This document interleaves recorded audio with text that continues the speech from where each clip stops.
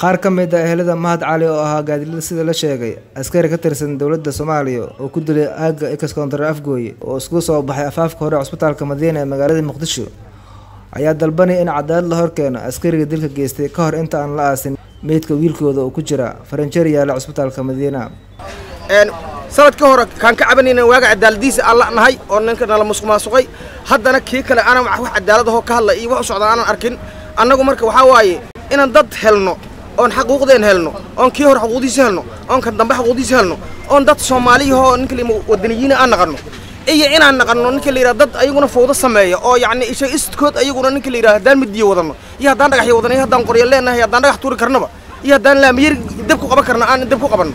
Labadaas jawaabood ayaan waxaan ka rabnaa dowladda federaalka soomaaliya inaan ka helno kii hore cadaaladda ka helno ku helno kana aan cadaaladda ku helno. Haddaan cadaalad weynana gacmaheennaa noo cadaalada walaalkay shalay isagoo gaarigiisa wato oo ilmihiis u xamaalanaayo. Yaa waxaa mataqaanaa ciidan jagboynti jooga yaa waxay dhaheen waxaa mataqaanaa rarkaan deji. Rarkaan haddaad dejisidna annagaana qaaday wuxuu yidhi war an ilmaa u xamaashaa. Isla markaas ninkii waxaa mataqaanaa haddaadan yeelayn xabaduu ku dhuftay. Sidaasoo ku dhintay walaalkay mahad cali axmed waxaa mataqaanaa hadda inta uu taagannahay isbitaalka madiina hortiisa. Walaalkayna waxaa mataqaanaa faranjeeraan gashannay waxaan waxaa mataqaanaa ka sugaynaa jawaab maxkamadda gobolka banaadir oo waraaqado iyo dukumentiyo iyo c i d da aan kala nimaannay waxaan rabnaa hadday cadaalad jirto hadday cadaalad jir lahayd waaba ficnaa lahayd sababtoo ah nafta qofka nafta goy naftiisaa la goy lahay wax cadaalad la yidhaha ma jirto.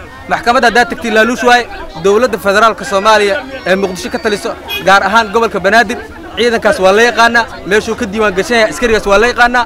Walaalkay waxaan rabnaa haddii ilaah yidhahdo in loo cadaalad faro.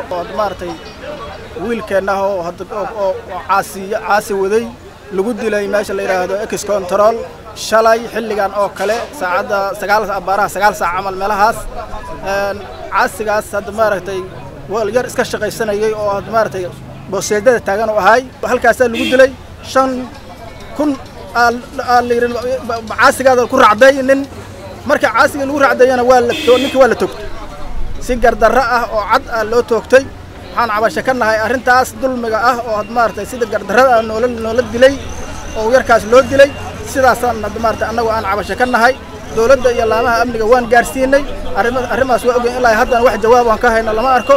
Meydkina meydkina farijiteeraan gelinay oo hadda maaragtay uu noogu jiraa waa waxaan ka war sugaynaa hadda maaragtay laamihii amniga iyo dowladdii aan ka war sugaynaa haddii ilaahay saasaan ka rajaynaynaa dowladda sharafta leh in maxaan ku idhaahdaa cadaaladda hor keento gacan ku-dhiiglihii dilay walaalkay mahad cali jawaab aan ku faraxnane sida ugu dhaqsiyaha badan leh ee ka bixiso. Haddii ay ka bixi weysane maxaan ku idhaahdaa waxaan u arkaynaa inaan meeshaas dowladda aalin. Baabuurkan igu qaad igu raacday iyo warniyo kugu raacday ma hungurigaan shaqaysanaya dhaaf. Saad ay dhihi kartaa xabada gula dhuftay ilaa hadda wax jawaabo ma hayno wax aan hayno lama arko walaalkan filinjeerow ku jiraa waxaan ka codsanaynaa dowladda soomaaliya inay cadaaladda ay ninkaas noo soo saarto. Hadday noo soo saari weysay arrinta qabiil iyo in laas madax jibi ay noqoto nin aan qabiil ka dhalin ma jirto nin aan wax dili karin ma jirto. Waxaan rabaa sida ugu dhaqsida badanne in cadaaladda dowladda soomaaliya inay u hor keento ninkaas. Haddayse u hor keenin dadka soomaaliyeed ayakaa isku baabi'iyeen dowladda soomaaliya ayaa dhowr qof u soo xirtay dilka marxuum mahad cali balse ehelada meydka ayaa sheegay in gacan ku-dhiglaha aysan weli dowladda gacanta ku soo dhigin.